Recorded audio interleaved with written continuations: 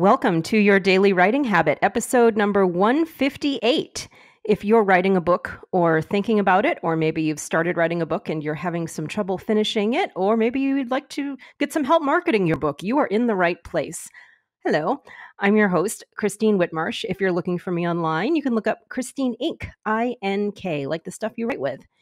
Every day, I'm sharing with you the writing habits I've learned over my 18 years as a ghostwriter, book coach, and author.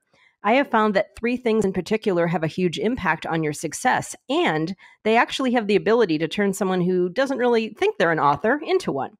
Those three things are writing fundamentals, productivity, and mindset habits. Here's today's inspirational quote The art of writing is the art of applying the seat of the pants to the seat of the chair. Mary Heaton Vorse. It's true. That's what it comes down to, for sure.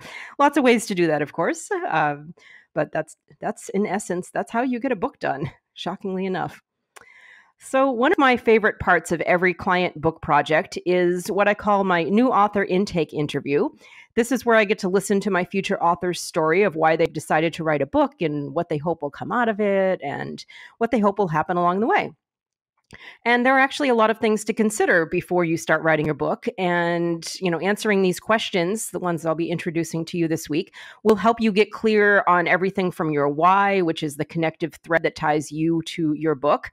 It helps you, these questions will help you figure out the most sensible writing plan that fits your schedule and your kind of your mindset and your creative energy. It'll help you determine your publishing plan. The question I hear a lot traditional versus self publishing, and so much more.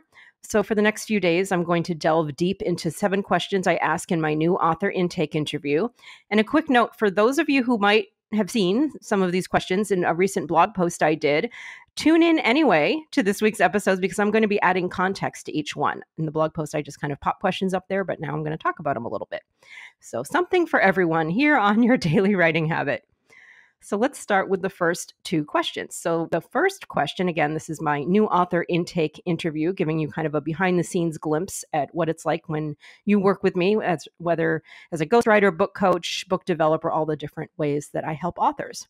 First question Why do you need to write a book? And is writing a book a must or optional for you?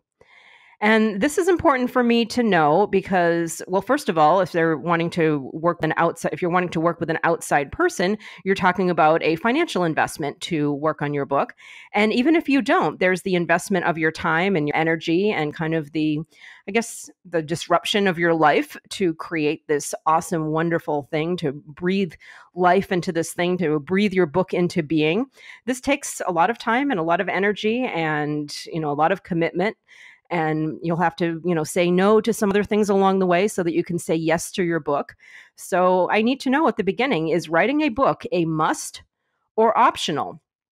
And beyond that uh, what i really encourage my authors to do is to dig deep and find the strongest reason they can possibly come up with to write their book because you might have a few reasons. You might say it was a good business card and I need it for speaking gigs and you know, and then you get to the next level of, you know, I want to change some lives and things like that.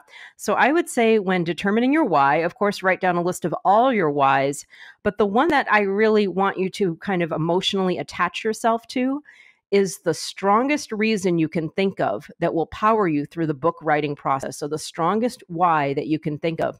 Because believe me, and I've talked about this in other episodes, when you kind of reach the stumble over those obstacles along the way in the book writing process and, you know, writer's block and all sorts of things like that that's when you're really going to need the strongest why possible. That's going to get you up on your feet again when you stumble, when you fall. So, you know, when you do decide, hopefully, that writing a book is a must for you, figure out why. Why is it a must? What is the strongest reason possible for you to write a book? So that's the first question I ask when new authors work with me.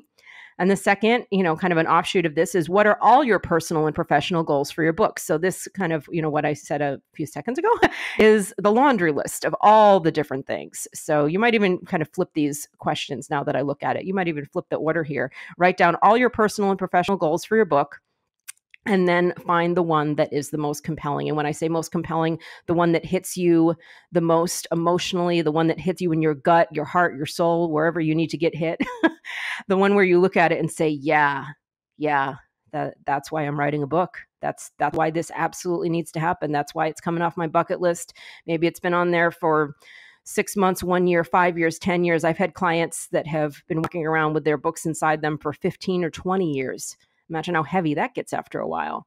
So, when you look at that list of all the goals, all the reasons you need to write your book, find the one that hits you in the gut.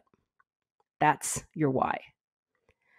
All right, that's the first two questions. And tune in tomorrow for my next questions in my author intake interview. And in the meantime, I would love it if you would drop by my Ink Authors group on Facebook. That's where I offer motivation, accountability, book writing, and publishing resources, and more. And wherever you're listening to your daily writing habit, I would also love it if you would consider leaving a review, whether it's on Amazon, you can just look it up under Alexa Skills, your daily writing habit, or on iTunes or wherever you listen to this. Thank you for joining me here on your daily writing habit, or I'm helping you write and finish writing an awesome book. And if you know someone else who wants to write a book, I would love it if you would share this episode with them. Thank you very much. And until tomorrow, happy writing.